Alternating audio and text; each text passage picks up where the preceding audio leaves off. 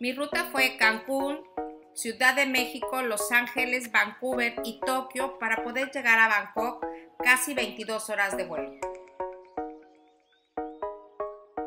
Ahora sí, después de más de 22 horas volando con diferentes escalas, hemos llegado a Tailandia, pero aún nos falta un vuelo más que será a Chiang Mai y comenzaremos esta aventura. En este video encontrarás los templos más importantes y representativos de Chiang Mai, pero a tu paso encontrarás muchísimos más templos. No dejes de entrar a ellos y visitarlos.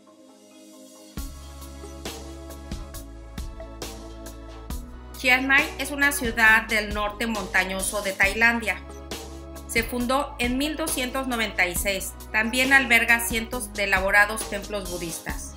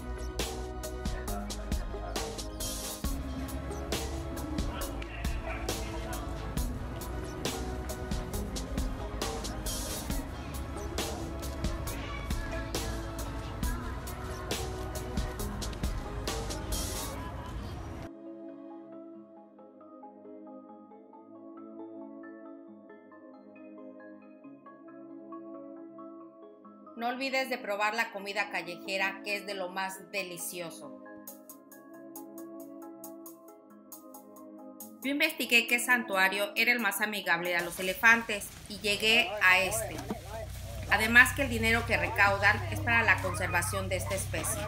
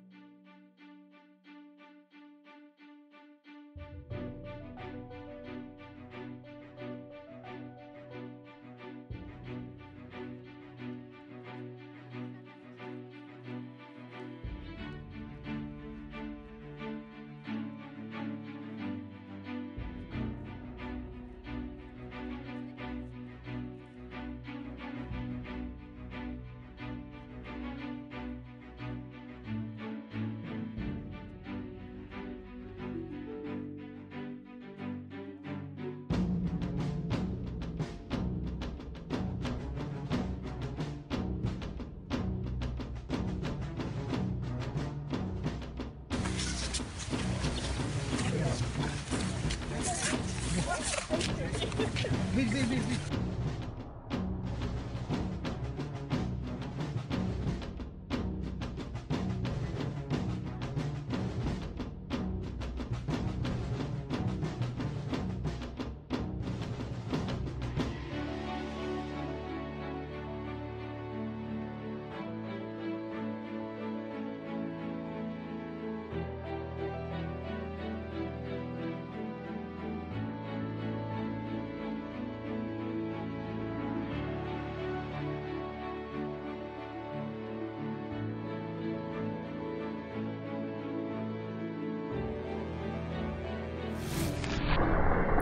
Chiang Rai es una ciudad que todavía está más al norte de Chiang Mai.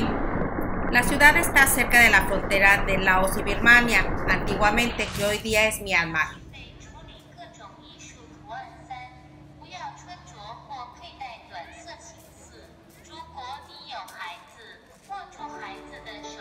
El templo blanco fue un emblema de iluminación, además con los mosaicos haciendo efecto de espejo se pretendía transmitir la idea de la sabiduría de Buda brillar en todo el universo.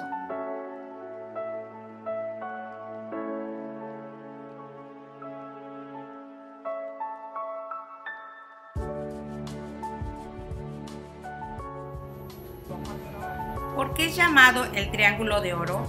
Para el sudeste asiático es sinónimo de opio y heroína. Todo esto comenzó cuando varios grupos de inmigrantes chinos comenzaron a integrar este cultivo en la zona. Y estos grupos que fueron a parar a la frontera entre Tailandia, Laos y Birmania y decidieron hacer dinero en el comercio del opio y de la heroína. Donde realmente se hizo conocido el Triángulo de Oro fue a raíz de la Guerra de Vietnam. Por un lado existía un consumo importante y por el otro lado la CIA financiaba ejércitos aliados en misiones secretas con el dinero de este comercio de drogas.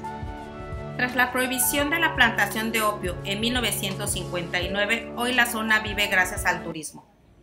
Sukhothai es una pequeña ciudad situada a 430 kilómetros al norte de Bangkok, considerada como la capital del primer reino de Siam durante los siglos XIII y XIV y cuna de la civilización tailandesa. Representa uno de los lugares históricos más importantes del sudeste asiático.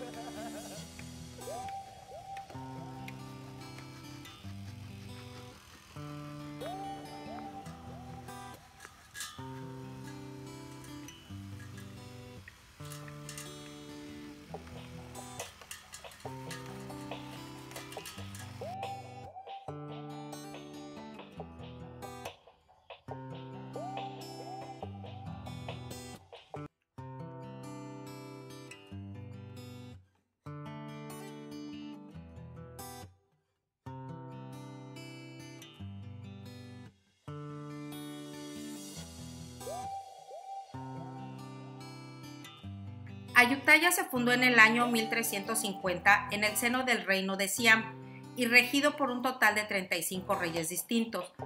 Fue totalmente destruida por los ejércitos birmanos. En su máximo esplendor contaba con más de 1500 templos y 4000 estatuas. Este templo es el único que está activo en Ayutthaya, así que no dejes de visitarlo.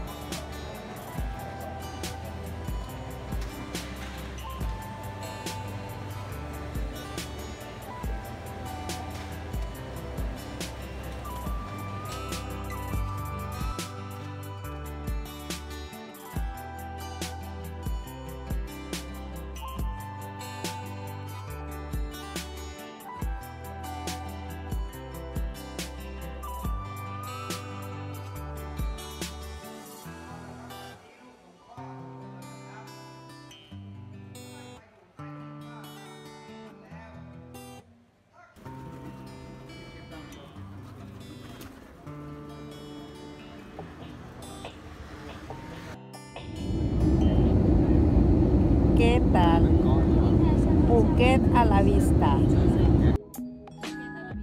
Después de estar en el norte y el centro de Tailandia, ahora nos vamos al sur a la playa.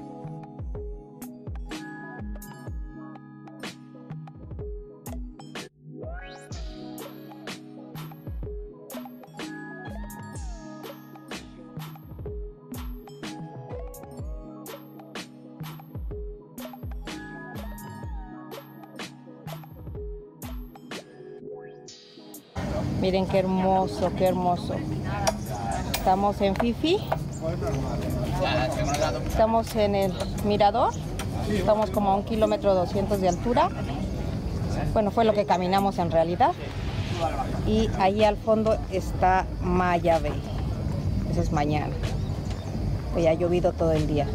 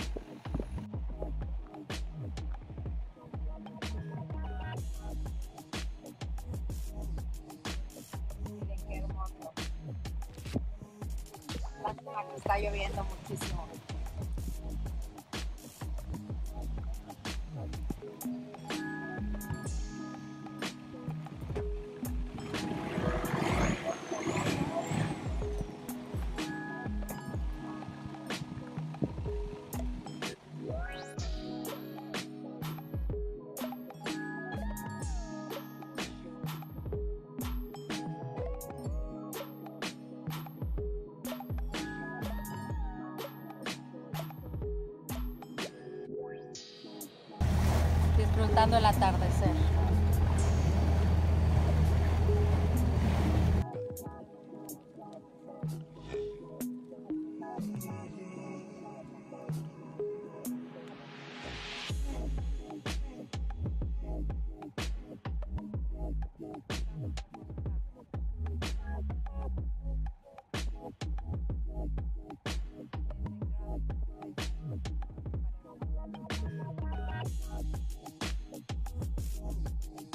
Fueron tres días increíbles en la playa y ahora nos iremos a Bangkok a disfrutar la última parte del viaje.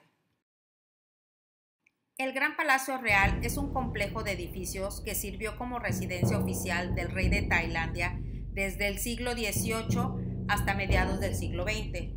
El Buda reclinado es el más grande de Tailandia, está cubierto en pan de oro con 46 metros de largo y 15 de alto.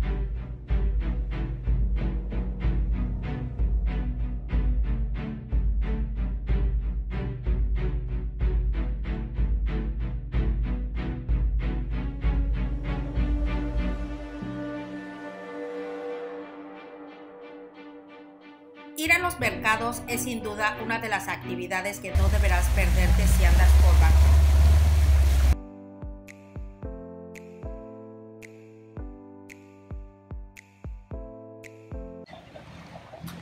A lo largo de este canal empezaron a surgir muchos mercados y es este el actual mercado flotante que queda activo y que se puede visitar.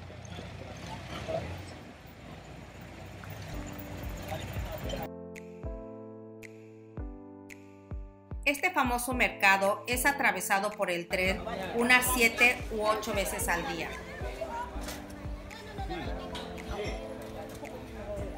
La historia de este singular mercado nace en el momento en que el ferrocarril se empezó a desarrollar en el país. Es el paso del tren lo hace único en el mundo y no se ha registrado ningún accidente en toda su historia.